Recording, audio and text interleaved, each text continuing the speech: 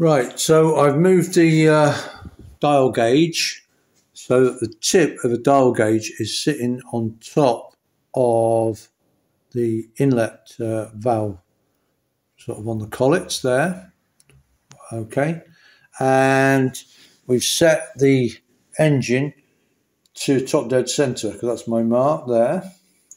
And then we've zeroed, I've zeroed the dial gauge. Okay, and what we're going to do now is we're going to we're going to turn the engine backwards until until the um, this um, oh yeah. So this tappet has been set to zero clearance. Okay that's important. Been set to zero clearance to begin with. Now I'm going to turn the engine backwards and this valve is very slightly open and what will happen is it will fully close. And what we're going to do is we're going to read off on the gauge uh, what how many thou it is before it fully closes and what we're trying to do is we're trying to get as near to 150 thou as we can before uh, without going over. So that'll be one revolution of the gauge and then up to as near to 50 as we can get. So I'll set the camera up. Everything else is set. We'll turn the engine backwards and we'll watch the dial and see how close to 150 we get. And that'll tell us whether we need to adjust this uh, inlet um, pinion to give us uh, a, a higher reading or not. Okay, so I've set the camera up as best I can so that you can see the dial gauge. That's about the best angle I can get on it. Um, so I'm going to turn the engine backwards now. Everything is all set up and we were looking for that to go around 150 thou to as near that, that 50 as we can. So I'm going to turn the engine backwards, and as that happens, the inlet valve is going to close.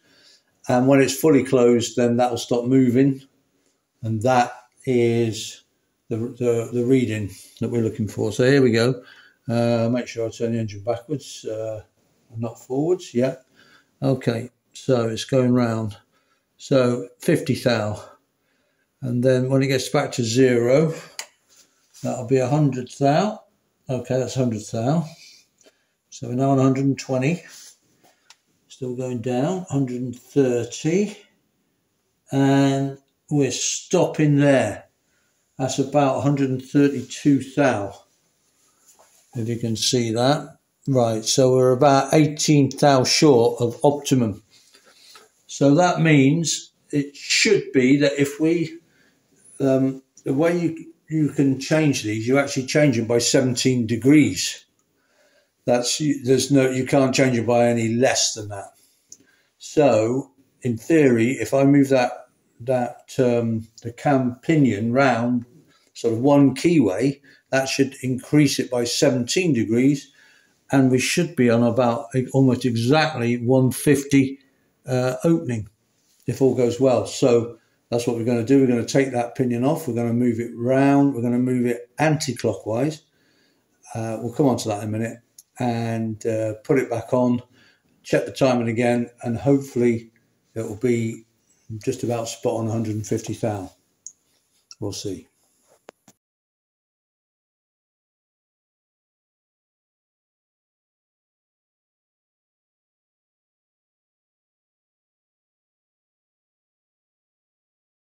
Okay, uh, so what I've done now is I've marked the uh, time, the uh, inlet pinion and the uh, intermediate uh, pinion where it is now. And I've counted around 17 uh, teeth and I've marked that and then I'm going to take the pinion off. I've got my my pinion, my sprocket puller, my pinion puller.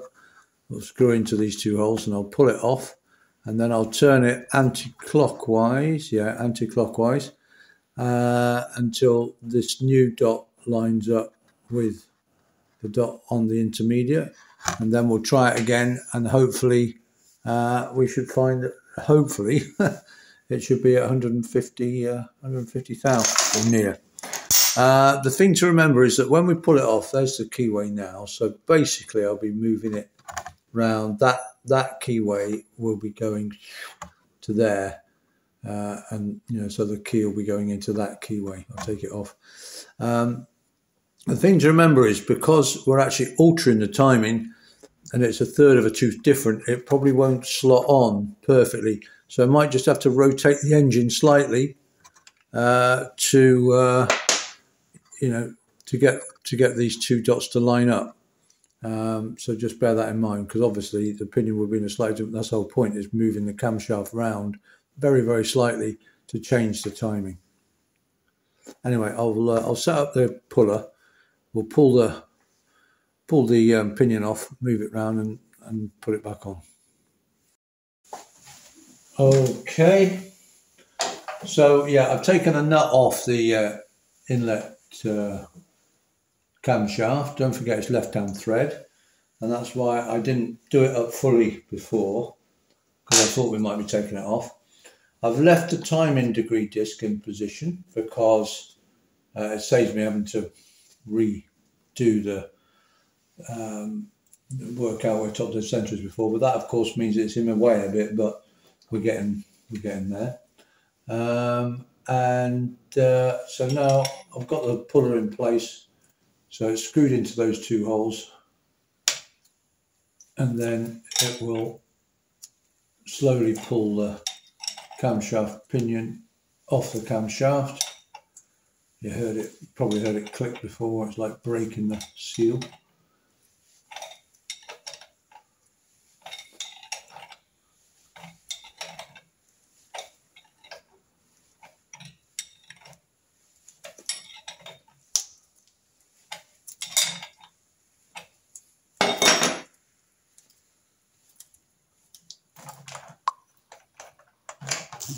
Okay, so we've got the uh, got the pinion off. Okay, so that's where it was before. So I'm moving it around 17 teeth. So basically, that keyway is going to line up there. But what I've got to try and do is make sure that that tooth there lines up, and it is lining up.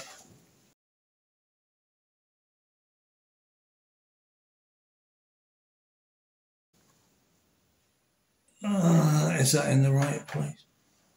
Yeah, it's gone. It's going in. Yeah. I thought we might have to turn the engine around a bit, but I think it is just going in, I think, without turning the engine around. I might just turn the engine, which way, backwards a bit, is it? I'll see, I'll see if that will go on. if it doesn't, we'll have to jiggle the engine around a bit. Right. Wow. Well, that's been uh, a major struggle.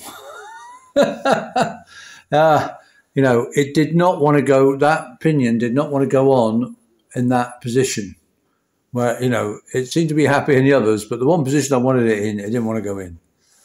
It'll go on. And it kept fouling on the damned uh, Woodruff key, you know, on the on the shaft. Oh, which is exactly what happened the first time I ever tried doing this.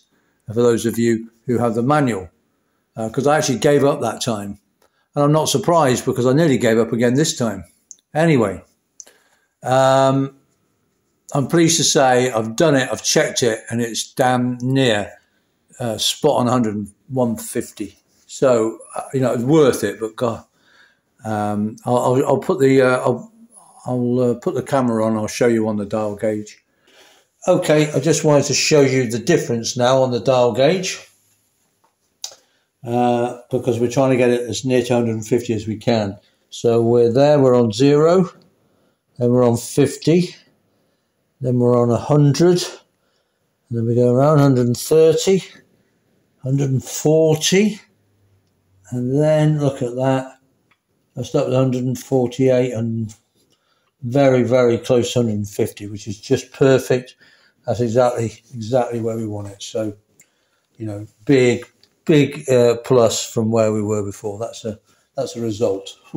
It was it was difficult. It was fiddly. I just couldn't get the pinion to seat on the on the camshaft. You know, it kept dislodging the Woodruff key. Uh, but eventually, I persevered and eventually it went on. Um, so worth worth all that messing, but it was a faff. I'm hoping that the either that the exhaust is already within tolerance, or if it's not, that it goes when I move it round, it goes on a lot easier than the inlet.